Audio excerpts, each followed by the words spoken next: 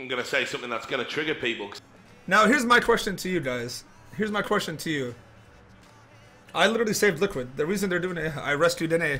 Honestly, someone should acknowledge the fact that none of this would have been possible if it wasn't for literally a singular decision that I made in my life. Like, someone needs to, like, really get the scope of this. I made that decision. I'm the reason Liquid is where they are now. You guys remember? I don't know if you guys remember this, but I said yesterday. I said if if Fnatic's gonna lose a game in this tournament, it will be to Liquid. Adren was a god. Listen, dude, if I was there instead of Adren, we wouldn't have even been at the majors. So, you're welcome, Liquid fans. I just want I just want everyone to understand that none of this would have been possible if it wasn't for me deciding not to go with Liquid. You guys realize that? Like, I don't want to take full credit, but I think I deserve at least some credit for this.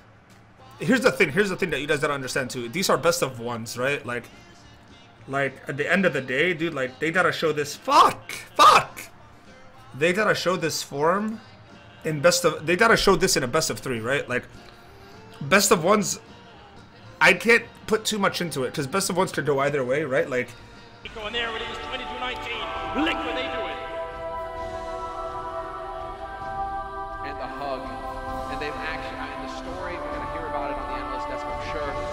But so many storylines developed around this team, around this North American hope.